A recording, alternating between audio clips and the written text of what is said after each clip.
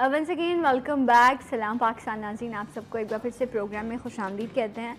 और uh, ये बात तो आपने सुनी होगी बल्कि शायद अपने माशरे में आगे पीछे आपने देखी भी हो कि अक्सर जो है हम uh, इज़्ज़त के नाम पर uh, बहुत अच्छी बात है। रब सबकी इज़्ज़तों का भरम रखे और सबकी इज़्ज़तें बनाए रखे और हम एक दूसरे के भेदी भी रहें ये भी बड़ा ज़रूरी है आज के दौर में। आ, लेकिन क्या किसी के नाम पर किसी को कुर्बान कर देना? किसी के नाम पर किसी को को जो है बग़ैर पूछे उसकी ज़िंदगी का फ़ैसला कर लेना। आ, क्या इतना ही आसान है जितना हम सुनते हैं या समझते हैं? हाँ आसान होगा उस वक्त जब हमारे लिए सामने वाला टारगेट जो है मैं फिर वही कहूँगी कि मैं ये नहीं कह रही हमारे माशरे के मर्द बुरे हैं, लेकिन जब आप ये बात सुनते हैं कि जब कुर्बानी का नाम देना हो, या जब आप इज़्ज़त की बात करते हैं, जब आप यहाँ ये बात करते हैं कि जहाँ पर आपको जो है चीज़ों को बैलेंस करना है तो वहाँ पर एक सॉफ्ट टारगेट आपके सामने आता है, वो होती है एक औरत।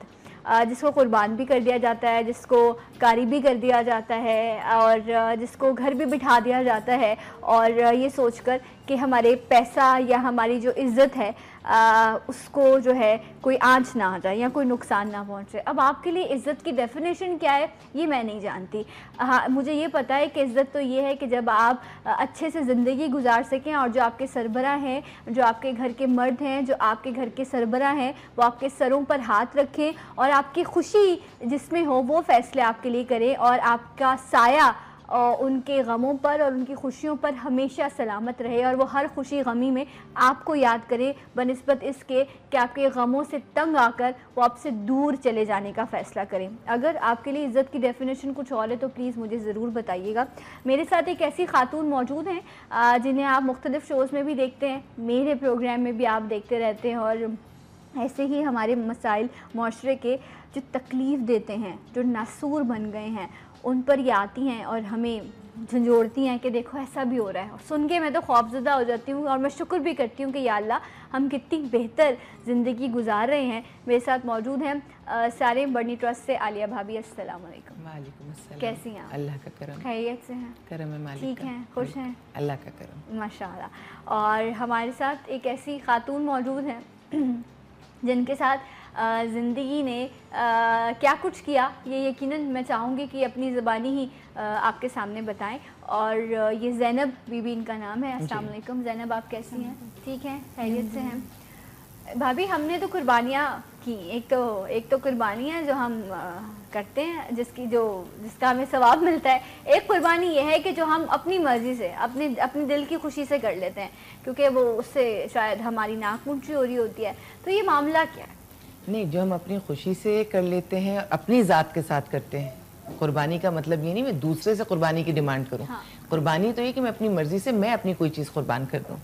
लेकिन जिस कुर्बानी का हम आज ज़िक्र कर रहे हैं बात कर रहे हैं वो ज़बरदस्ती की कुर्बानी है। हम्म। उसको कुर्बानी नहीं कहते उसको जुल्म कहते हैं। ठीक है। और जिस बच्ची की भी हम बात करेंगे साढ़े बारह साल की उम्र की बच्ची पर जुल्म करना। उसको शादी के बंधन में बांधना, वो तो भी आपको डिटेल से बता देंगी कि क्या इनके साथ हुआ। और फिर सबसे ज़्यादा तकलीफ़ दे बात, ज़माने से तो कभी शिकायत होती नहीं है, क्योंकि ज़माने से तो हम वैसे भी बच्चों को, अपने लोगों को प्रिपेयर करते हैं कि बच के चलना ज़माना बुरा है, लोग ऐसे करेंगे, लोग वैसे करेंगे। लेकिन जब अपने लोग, जिनके आसरे पर ज़िंदगी गुजारी जाती है, जिनको अल्लाह ताला इसलिए पैदा करता है कि दुनिया तंग करेगी तो हम उनके पास आएँगे। मैंने इसलिए तो कहा कि वही सरबरा फिर आप इज़्ज़त इज़्ज़त की डेफिनेशन भी फिर कुछ और रखते हैं। और वो इज़्ज़त अगर वो इज़्ज़त जो आपको वक्ती तौर पे लग रही हो इज़्ज़त है। एक दिन की इज़्ज़त है दो दिन की इज़्ज़त है और बाद में वो इज़्ज़त बहुत बड़ी बेजती बन जाती है। किसी औरत का घर से निकल जाने का ये मतलब नहीं है कि वो औरत बेजत हो गई। इसका मतलब ये उस घर का सरबराह बेइज्जत हो गया कि वो अपने घर की औरत को इज़्ज़त के साथ घर के अंदर नहीं रख पाया। और देखिए ये ताकतों से ना जिस्मों पे हुकूमत होती है। ये जो ताकतें होती है इससे दिलों पे हुकूमत नहीं होती। और अल्लाह इन प्यारे प्यारे सरबराहों को अकल शूर भी दे जिनके पास नहीं है जिनके पास है वो तो खैर बेहतरीन है लेकिन जिनके पास नहीं है अल्लाह दे ताकि ये इज़्ज़त का मतलब समझें। इज़्ज़त औरत को मारने में नहीं है। इज़्ज़त उसको ऐसे संभाल के रखने में है कि वो कोई ऐसा काम ही ना करे जिसपे आपको उसे मारना पड़े। हाँ, लेकिन यहाँ मैं उन औरतों का भी ज़रूर ज़िक्र करना चाहूँगी। जो एक रुतबे पे जाकर या अक्सर ऐसे रिश्ते में वो उनका तब्दील हो जाती है ना, जिस तरह सास बन जाती हैं या अक्सर जो है, मैं सास को क्यों बुरा कहूँ? अक्सर ऐसा भी होता है कि एक बहन बहन की दुश्मन बन जाती है एक जो देवरानी है वो अपनी जिठानी की दुश्मन होती है, एक नंद अपनी बहू, अपनी भाभी की और एक भाभी अपनी नंद की मुख्तलिफ़ रिश्ते हैं, जिनको हमने बड़ा खौफनाक बना दिया है। और ऐसा होता है। एक औरत का किरदार भी जो है वो बड़ा तश्वीशनाक हो जाता है क्योंकि एक जब मर्द किसी तरह की प्लानिंग करता है और उस घर की औरतें अगर एक तरफ़ हो जाएँ तो मुझे लगता है कि वो उस कदम को वैसे नहीं पूरा कर पाएगा या कहीं ना कहीं वो शेकी ज़रूर होगा। लेकिन जब एक घर की औरत ही उस मर्द की प्लानिंग में उसका साथ देती है तो फिर वो औरत लेकिन एक बात मैं आपको बताऊँ कि औरत सियासत गंदी सियासत भी बहुत बेहतरीन खेलती है।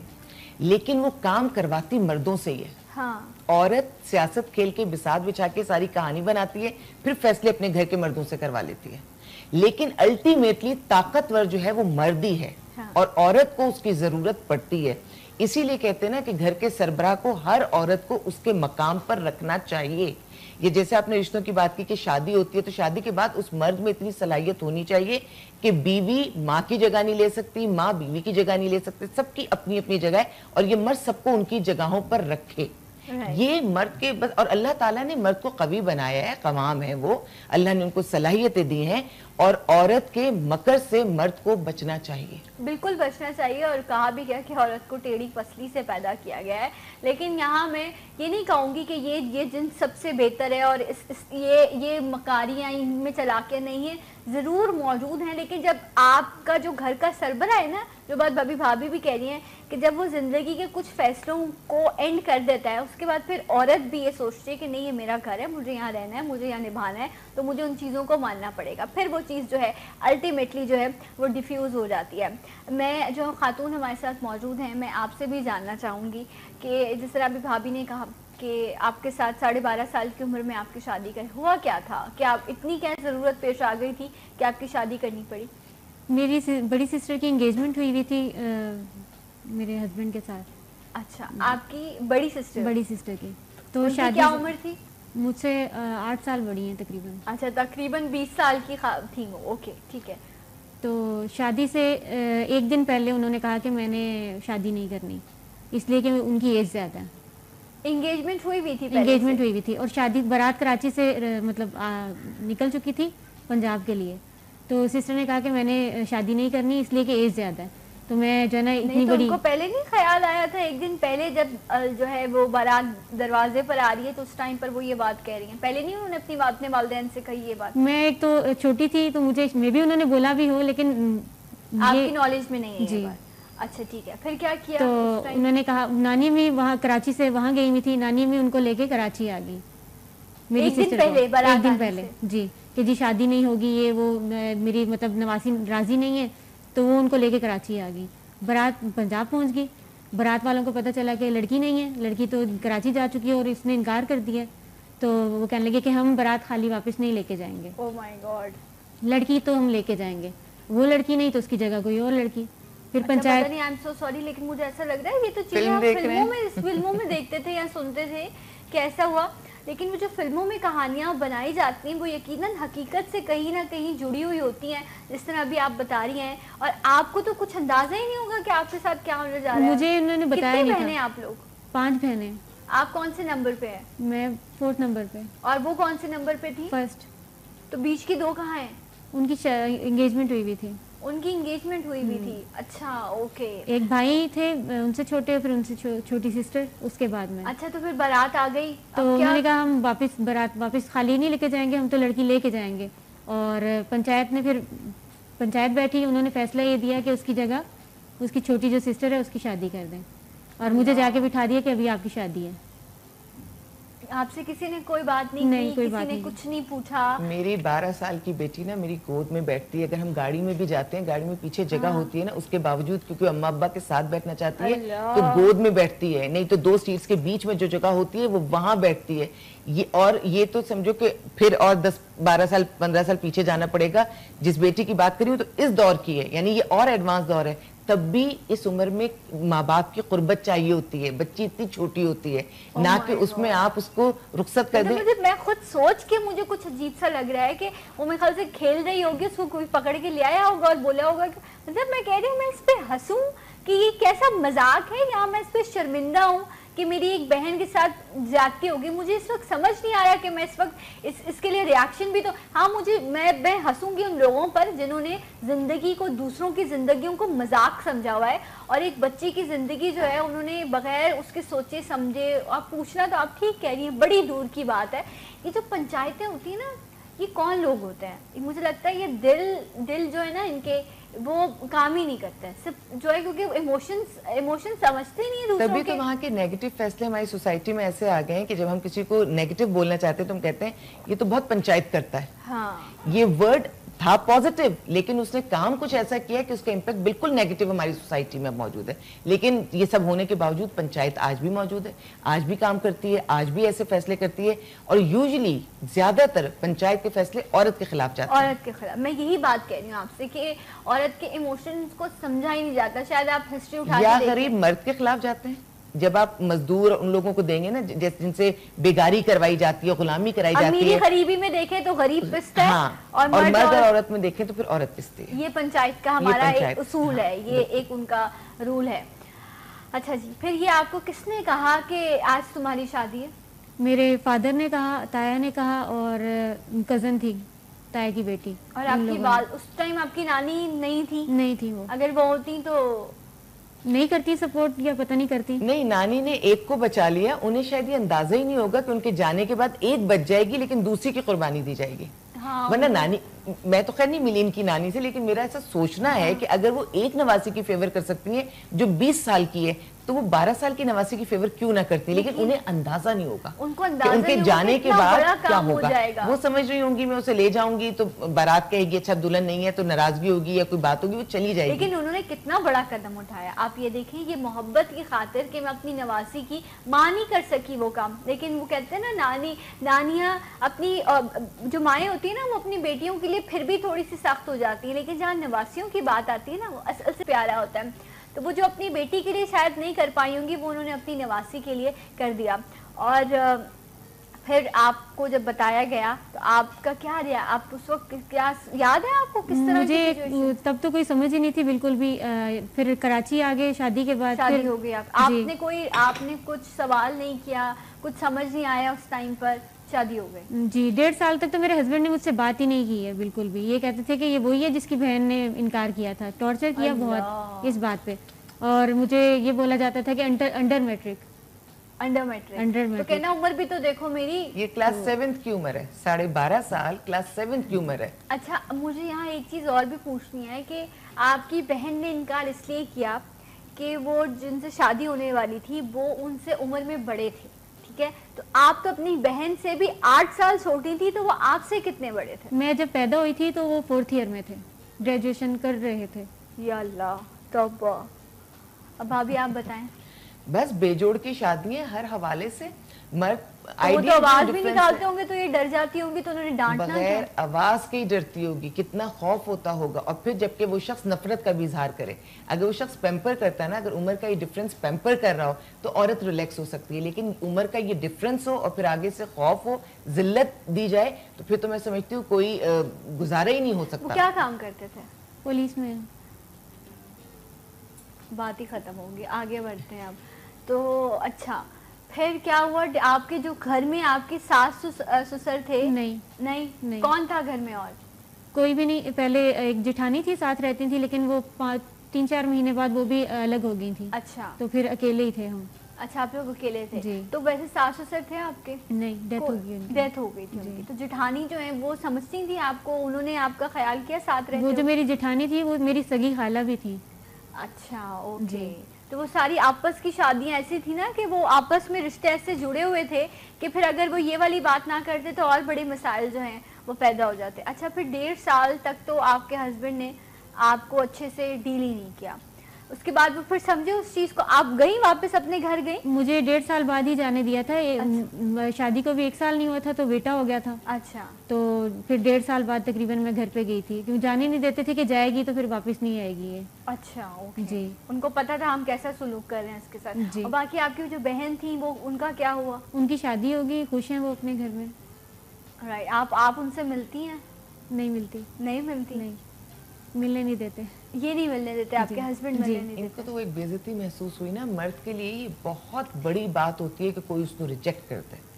ज़िंदगी भर मर्द इस बेइज्जती को नहीं भूलता और इसको बहुत पर्सनल ले लेता है अना का मसला बना लेता है। आपकी अपनी बहन से मुलाकात हुई? जी मैं मिली थी अम्मी की डेथ पे उनसे मिली थी। अच्छा तो वो उन्होंने आपसे यकीनन वो उनके साथ जिस चीज़ से वो बची वो तमाम चीज़ें आपने आप भुगत रही हैं या आप वो तमाम चीज़ें देख रही हैं और शायद आप आपकी मैं अगर ये कहूँ कि वो भी होती है एक शख्स की कुछ इंसानों की नेचर ऐसी होती है कि वो वो वैसे ही होते हैं वो तब्दील नहीं होते। तो उन्होंने वो दुख में थी परेशान थी आपके लिए? यूँ समझ ले कि अम्मी के बाद मुझे वही मेरी अम्मी है। मतलब अच्छा। इतना उनके साथ हाँ उनको भी क्या पता था कि ऐसा हो जाएगा मेरी बहन के साथ। तो फिर जब आप घर गई वापस तो फिर आपने जाके बताया अपनी फैमिली को कि मेरे साथ ये हो रहा है? नहीं, मैंने- तेरह चौदह साल की चौदह साल की उम्र होगी उस टाइम आप जी। अच्छा फिर क्या बताया नहीं आप बताया था मैंने उनको उन्होंने कहा कि अब जैसे तैसे भी है निभाना है आपको इसको। ये शादी आपने निभानी है जैसे भी है। जो कुछ भी है आपने निभाना है। आपको मारते तो नहीं थे? मारते थे मुझे। मारते थे टॉर्चर करते थे और फिर मुझे उन्होंने कहा कि आप मेरे स्टैंडर्ड की नहीं मारा था? जी? अम्मा नहीं कभी नहीं। तो पहली मार जो है वो बारह साल की उम्र के बाद खाई। वो भी अपने शोहर की। जी। ये हमारी हकीकतें हैं और ये हमारी इज्जतें हैं और ये वो मुहाफ़ हैं जिन्हें सरकार नौकरियाँ देती है कि वो लोगों की हिफाजत करें। और ये वो कहते हैं मर्दों को चुना जाता है पुलिस में। और ये वो वो मर्द हैं जो घर आकर अपनी कमज़ोर बीवियों को, अपनी औरतों को ऐसे, मैं सबकी बात नहीं करूँगी, मैं उनकी बात करूँगी जो ये करते हैं। और जो सुन रहे हैं, उनको भी जो करते हैं, उनको पता होगा कि वो क्या करते हैं। और अगर इसको बहादुरी कहते हैं तो फिर मुबारक हो आपको ऐसी बहादुरी एक ब्रेक ब्रेक के बाद आपको ज्वाइन करेंगे सलाम पाकिस्तान।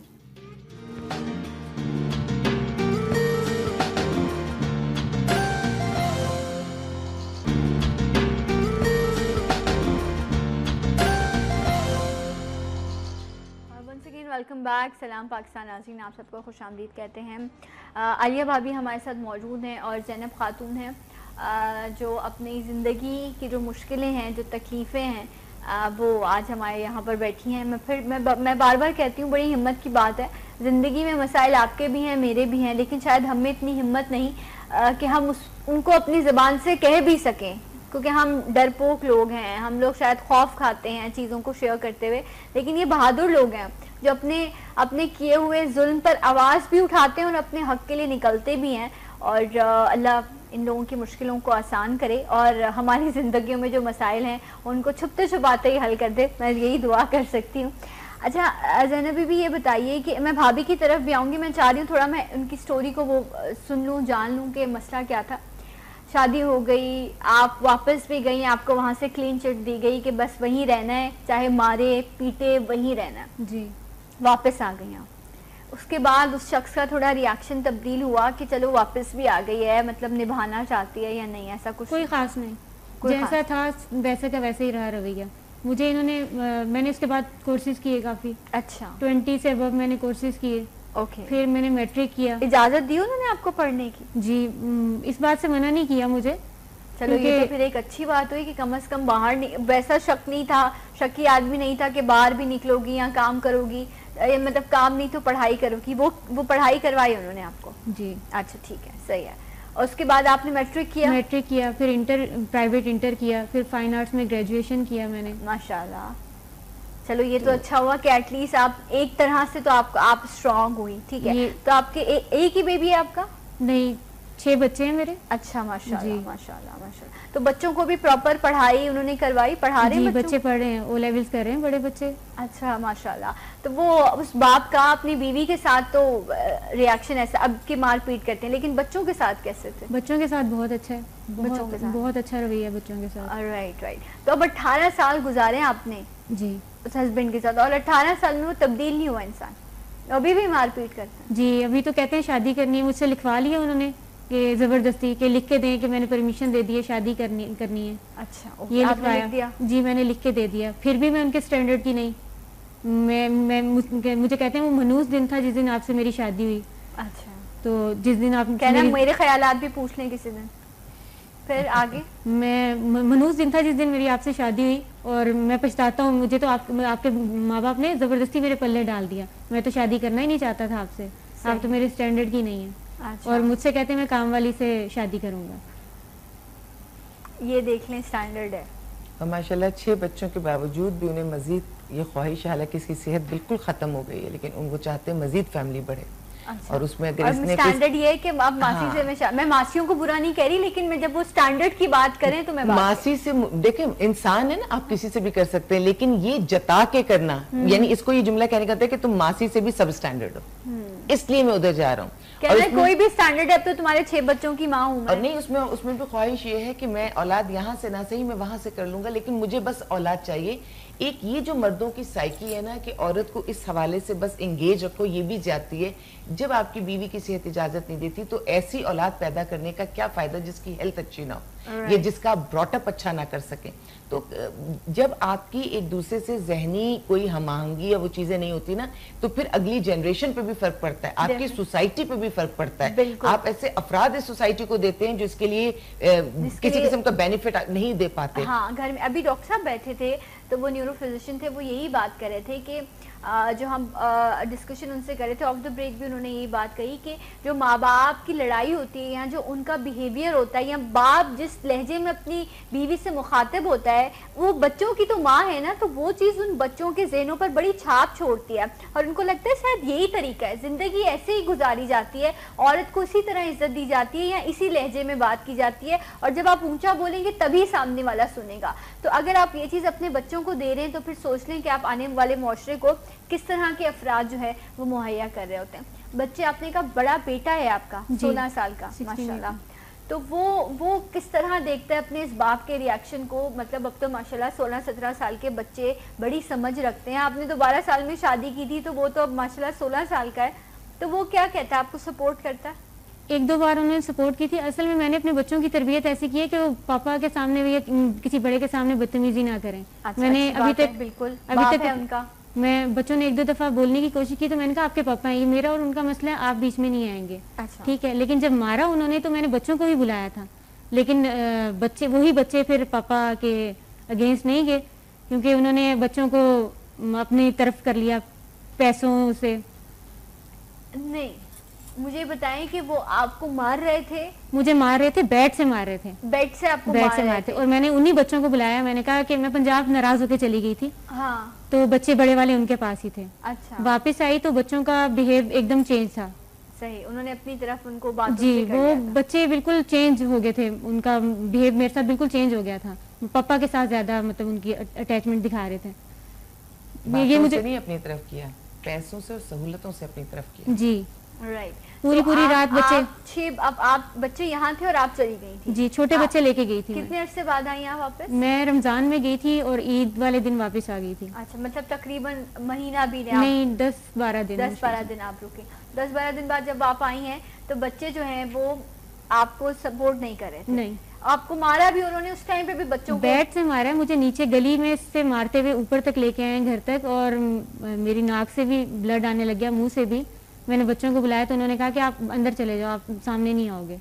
दोनों बच्चे अंदर चले गए और उन्होंने सही ठीक ठाक मुझे मारा। अच्छा और आपके जो मोहल्ले वाले थे सबने देखा। वो पुलिस वाला है तो कोई कुछ कह नहीं सकता। सबने देखा। पूरे मोहल्ले वाले ने देखा। और अगर मोहल्ले में ऐसी कोई चीज़ हो रही होती है तो हमने हम पुलिस वालों को बुलाते हैं। और यहाँ पर कौन कर रहा है? वही कर रहा है जिसको कहा जाता है कि ये जो है वो कानून नाफिज करने वाले लोग हैं। ये कानून की बालादस्ती को जो है वो राइज करते हैं ये हमारी हिफाजत के लिए हैं ये हमारे मुहाफ़ हैं। और मुहाफ़ों के साय तले रहने वाली ये एक औरत है जो अपनी कहानी खुद बता रही है। तो फिर आप उस टाइम पर जब ये सिचुएशन हुई उसके बाद बच्चे अब अभी अभी आपको सपोर्ट करते हैं या अभी भी वो लग्जरीज के पीछे मैंने इनसे कहा मैंने कहा मैं आपके खिलाफ एफ़ आई आर कटवाऊँगी मैं असल में बोल देती हूँ। मैंने उनको कहा मैं आपके खिलाफ एफ़ आई आर कटवाऊँगी इसलिए कि आपने मुझे मारा है। दोनों बच्चे मेरे बड़े वाले दोनों बच्चे दोनों दरवाजों पे पैरे देते थे। पूरी रात और पूरा दिन के मम्मा चली ना जाए पापा ने बोला हुआ कि मम्मा कहीं मेरी कंप्लेन ना कर दें किसी से जाके। दोनों बच्चे मेरा पैरा देते थे। फाइव डेज़ उन्होंने मेरा पैरा दिया कि मम्मा चली ना जाए कंप्लेन करने के लिए। अच्छा तो ऐसी औलाद भाभी ये तो औलाद का कसूर नहीं है। औलाद तो बेहतरीन पढ़ी है सब है। बात यह है कि माँ बाप की लड़ाई में उन्हें वो पार्टी बन गए। उन्हें पार्टी बना दिया लेकिन, गया। लेकिन लेकिन वो शख्स तो घर में एक सर्टेन टाइम गुजारता होगा उन बच्चों की तरबियत माने की उन बच्चों को खिलाया माने उस उस माने बच्चे भी बच्चे कैसे तब्दील हो जाते हैं? बाप का जो रोल होता है वो बहुत स्ट्रांग होता है। कहने को बाप इतना सा टाइम देता है उसका इम्पैक्ट अगले पूरे 24 घंटे तक उन बच्चों के जहन पे होता है। अमूमन बहुत सारे बाप ये सोचते हैं ना कि तरबियत माँ की और माँ ने किया बाप का इत... हैं और ओ, आप आप जो चाहती हैं वो ये नहीं करना मेरे भाई की कॉल आई कि अगर आप कराची वापस नहीं गई तो मैं खुद को कुछ कर लूँगा। ये अच्छा। हमारी बेजती है अगर आप डिवोर्स लेके घर पे आती हो आप वहाँ पे आप वहाँ से आपका जनाजा निकले इसमें हमारी इज़्ज़त है। लेकिन आप हमारे घर पे डिवोर्स लेके आती हो या नाराज़ होके आती हो तो इसमें हमारी बेजती है। ये किसने कहा? आपके भाई ने? मेरे भाई ने। मेरे फादर ने भी मुझे ये बोला अच्छा। कि मैं नहीं रख सकता आपको नाराज़ होके आप मेरे घर पे रहो या डिवोर्स लेके आओ मैं आपको नहीं रख सकता। मुर्दा परस्त लोग हैं ना हम। असल में हम मुर्दा परस्त लोग हैं। और फिर मुर्दों पे हम हम जीना मरना ख़त्म कर देते हैं। और फिर जब खुदा ना खास्ता ऐसा कोई हादसा हो जाता है फिर हमें मोहब्बतें भी हो जाती हैं फिर हमारी इज़्ज़त भी बढ़ जाती है। मतलब ये ये, ये क्या जुमला है? और ये जुमला हम कब तक सुनते रहेंगे और हम क्यों सुनते रहेंगे? क्या कभी किसी बेटे के लिए किसी ने ऐसी सोच रखी है? नहीं रखी। आपने बेटी को रुखसत करते हुए आप लोग ये क्यों सोचते हैं कि इसका जनाजा ही निकलेगा? फॉर गॉड सेक उसकी ज़िंदगी है। अल्लाह ने भी उसको इख्तियार दिया है कि नापसंदीदा चीज़ है। बहुत बुरी चीज़ है। कहते हैं, आसमान भी काँप जाता है जब आप तलाक का या खुला का नाम लेते हैं। लेकिन अल्लाह ने जब इस चीज़ की इजाज़त दे दी तो फिर बंदा बशर कैसे उस चीज़ से इनकार कर सकता है? या आप कैसे सामने वाले को बाउंड कर सकते हैं? मुझे नहीं लगता मुझे लगता है कि बहुत हमें टाइम चाहिए इस एक जुमले को माँ बाप की सोचों से निकालने में भाभी। टाइम तो नहीं चाहिए बस थोड़ी सी जहन को वसी करने की ज़रूरत है। उसी के लिए तो वक्त कितना वक्त? पता नहीं। अभी तो सदियाँ एक सदियों से यही चीज़ सुनते आए हैं और अब तो नेट का जमाना जाने किस किस का जमाना लेकिन हम अपन पाकिस्तान में ये चीज़ें वहीं की वहीं खड़ी हैं दुनिया में बहुत सारी चीज़ें बदल गई हैं। लेकिन मैं आपको एक बात बताऊँ हम लोग कई जगहों पर इतना भी गलत कर देते हैं मेरे पास इंग्लैंड से एक बच्ची का फ़ोन आ रहा है हम जो रिश्ते बाहर मुल्कों में कर देते हैं इसने तो अच्छा, अली यहाँ भाभी एक ब्रेक लेना है मुझे अर्जेंट ठीक है? ब्रेक से वापस आते हैं तो इसी बात से कंटिन्यू करेंगे। हमारे साथ रहिए Salam Pakistan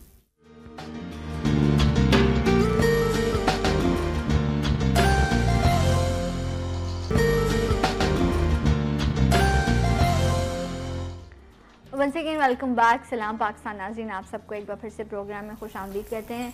आलिया भाभी हमारे साथ मौजूद हैं जैनब बीबी मौजूद हैं जो अपनी परेशानियाँ आज यहाँ बैठे हुए हमसे डिस्कस करी हैं और मैं अब तमाम देखने वालों से ये दरख्वास्त भी करूँगी कि दुआ करें इनके लिए कि अल्लाह इनकी परेशानियाँ जो हैं उनको हल करें और ये अच्छी, जैसा ये चाहती हैं अपनी ज़िंदगी गुजार सकें। बचपन भी तरीके से नहीं देखा फिर वो एक लड़कपन एक एक आपको एक जवानी की तमाम चीज़ें होती हैं। वो जो आप ख्वाब देखते हैं ना कि मैं दुल्हन बनने का ख्वाब तो हर लड़की देखती है तो उनको तो शायद वो ख्वाब देखने का भी मौका नहीं मिला।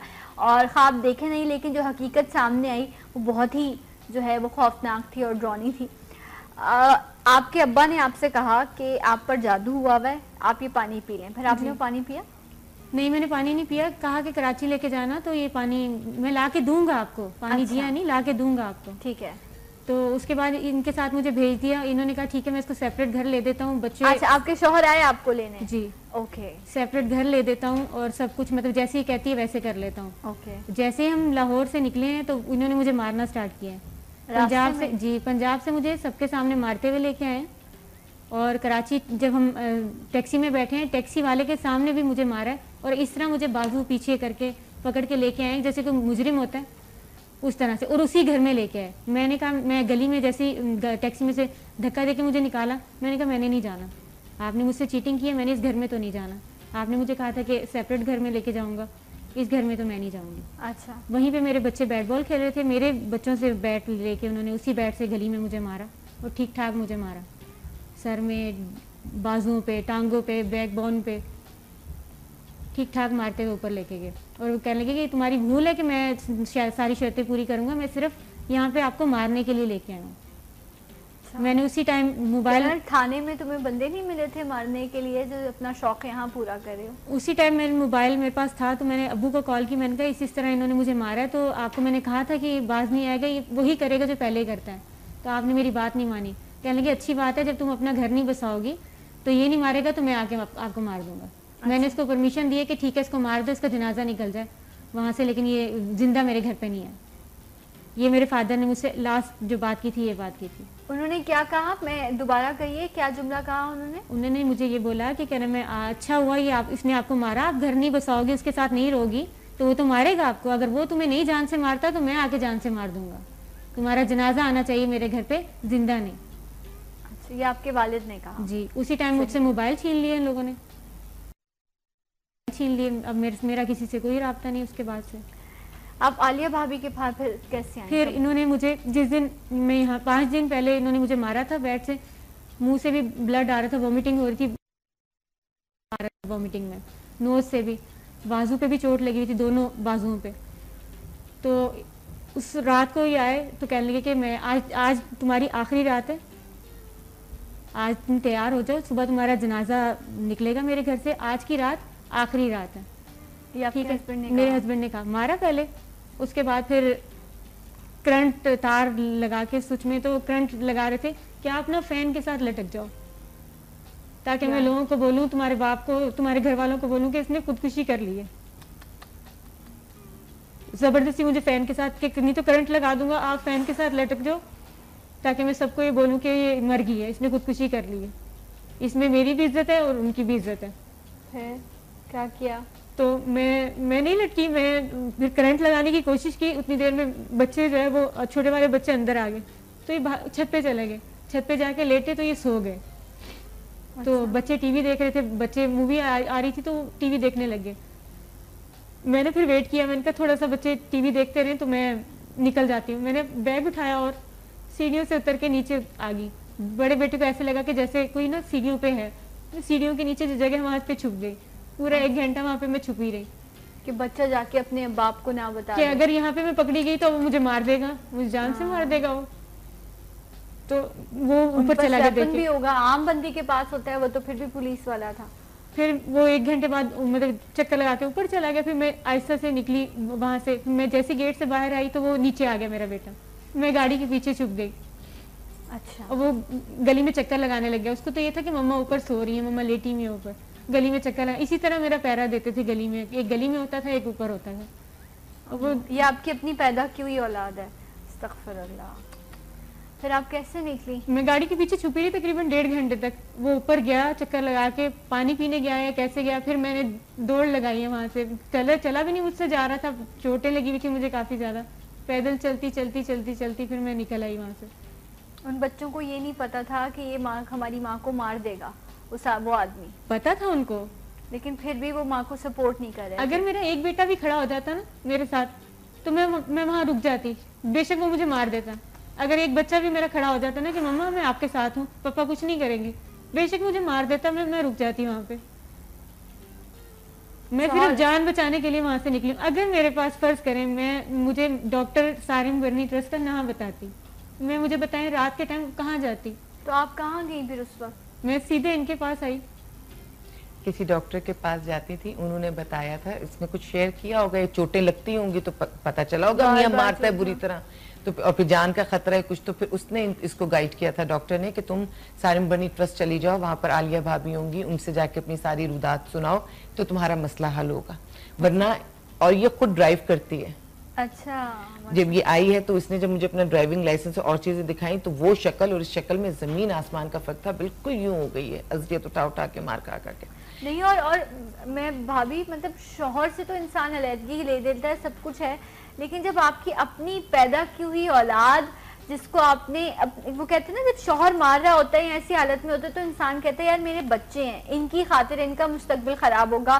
कल को ये मेरे साथ खड़े होंगे मैं बर्दाश्त कर लेती हूँ। और जब वो बच्चे खड़े होके भी इस तरह जब खड़े होने लग जाएँ और वो आपका पहरा दें कि माँ मार खा रही है खाती रहे मरती है मरती रहे हमने जो है वो अपनी लग्जरीज को एंजॉय करना है तो फिर तो आ, ये सुन लें वो बच्चे कि उनका आने वाला मुस्तकबिल जो है वो बड़ा तारीख होने वाला है और जो माँ बाप के साथ उन्होंने किया है जो माँ को उन्होंने दुख दिया है तो फिर उनको ज़िंदगी में माँ तो दुआएँ करती होगी लेकिन इंसान को हकीकत पसंद होना चाहिए। अब मैं तो बड़ी तकलीफ़ में हूँ मैं बड़ी शर्मिंदा हूँ कि आपकी औलाद ने आपके साथ आज तक ये अपने बच्चों के स्कूल नहीं गए। एक बार भी पीटीएम अटेंड नहीं की। स्कूल वालों को ये नहीं पता कि इनके फादर कौन है। सारे स्कूल का जो भी है मैं देखती हूँ। उनका एडमिशन मैंने करवाया पिक एंड ड्रॉप बच्चों को मैं करती हूँ। यहाँ तक कि इनको ये नहीं पता मेरा कौन सा बच्चा कौन सी क्लास में पढ़ता है।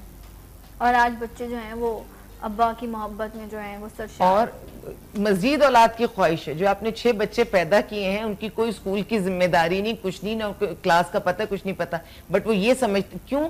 शायद उनके जहन में कहीं ये होगा कि इसको और गिराया जाए। हाँ। औरत को इतना इन्वॉल्व रखा जाए लेकिन वो ये नहीं समझे कि अगर ये वापस नहीं जाती उस घर में तो फिर उन बच्चों का क्या होगा? बेटियाँ कितनी आपकी? एक बेटी है पाँच बेटे। मैंने तीन साल पहले फैसला कर लिया था कि मुझे इससे डिवोर्स लेनी है।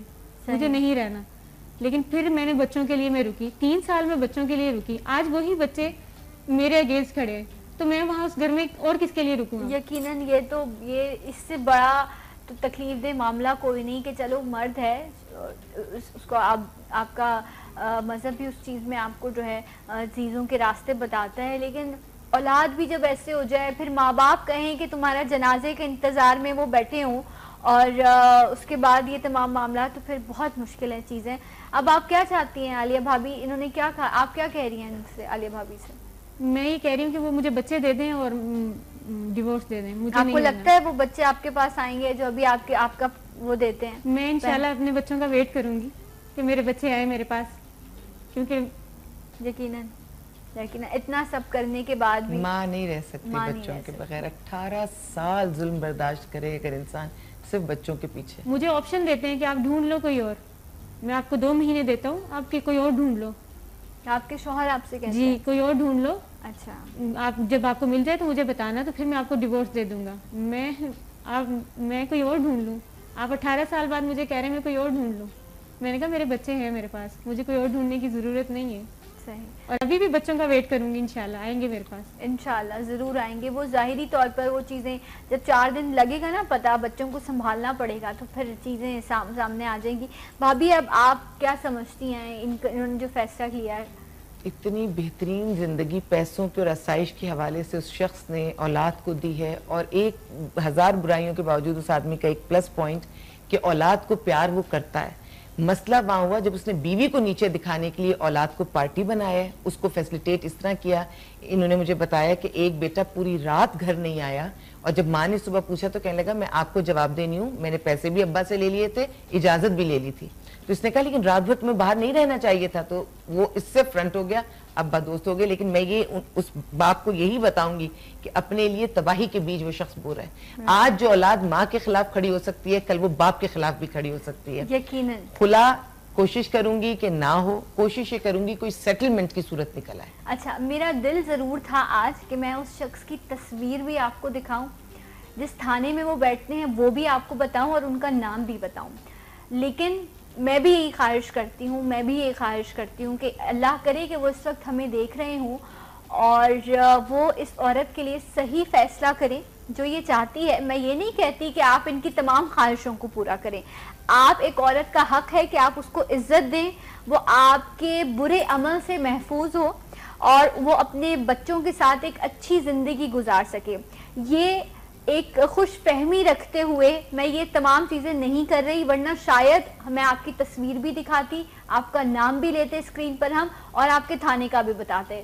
जो होना है फिर चीज़ें देखी जाती हैं बाद में। लेकिन सिर्फ़ इसलिए कि आप इनके साथ मामला बेहतर करें तो हम इस वक्त ये कोशिश करेंगे कि ऐसी कोई चीज़ स्क्रीन पर ना की जाए।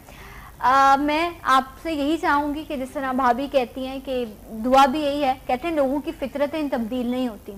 कुछ लोग आदतें बदल सकती हैं, फितरत तब्दील नहीं हो सकती। और जिसकी फितरत ऐसी हो, उसके लिए फिर हम खुशगुमानी कर सकते हैं। तो भाभी ऐसा ही है ना यही कर सकते लेकिन हैं जब इसने हर चीज़ की इजाज़त दे दी है तो मैं समझती हूँ एक मर्द को ऐसी बीवी को नहीं तंग करना चाहिए उसके नाम पे भी बैठ रही है आप दूसरी शादी भी कर लें। और अल्लाह ने आपको पैसा भी बहुत दिया है। हम्म। आपको खर्च करने वाला दिल भी दिया जो आप औलाद पे करते हैं।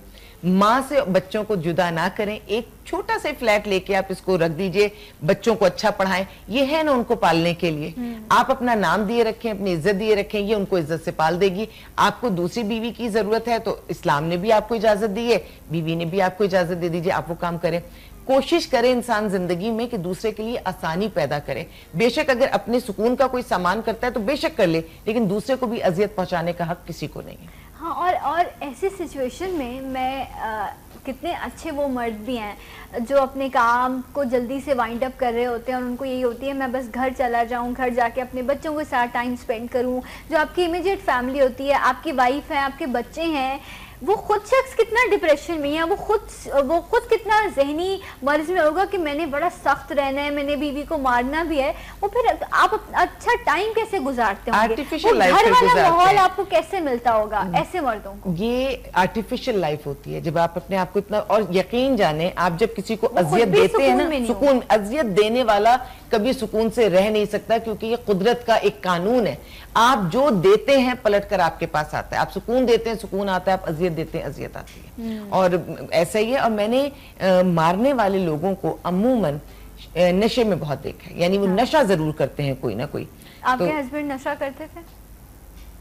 नहीं करते थे। चलें अच्छी बात है अगर किसी के और अच्छी बात है आपने अपनी बेगम को पढ़ाया भी और आपने उनको उनके पैरों पर भी खड़ा किया और यकीनन वो 12 साल की उम्र में तो गाड़ी चलाना नहीं मज़े की बात है आज़ादी भी दी है। गाड़ी दी बच्चों को सब चीज़ें सब चीज़ें दी है पैसा भी दिया अगर गाड़ी दी पैसा भी दिया बेहतरीन स्कूलों में इसके बच्चे पढ़ते हैं सब कुछ दिया। अच्छा भरोसा किया था तो गाड़ी दी थी ना? बिल्कुल। और बस मसला वहीं पर आता है कि जब हम अपनी अना को रख के फैसले करते हैं ना वो जो बुनियाद रखी गई थी कि बहन चली गई हाँ, और इसको वो जगह नहीं दी। वो इज़्ज़त वो जो दिल में वो जो चीज़ आई ना वो नफरत वो सारी ज़िंदगी जो है वो दिल में रही। तो मैं फिर यही कहूँगी कि अगर आपके शख्सियत के और मुख्तलिफ़ रूप देखे जाएँ तो हाँ लगता है कि एक अच्छा सरबराह है, जो घर भी संभालता है, जो फाइनेंशियली भी चीज़ों को मामला को नहीं बिगाड़ता, बच्चों को भी तालीम दे रहा है, उसने बेगम को भी पढ़ाया, लेकिन हाँ जो हो चुका, उसको पीछे छोड़ दें।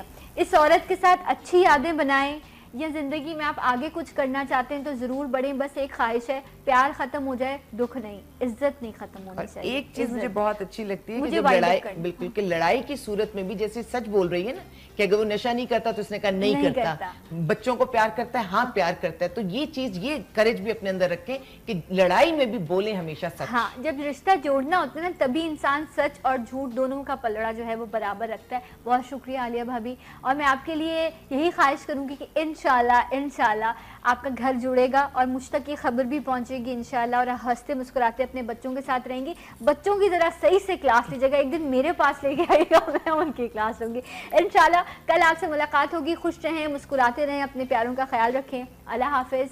सलाम पाकिस्तान।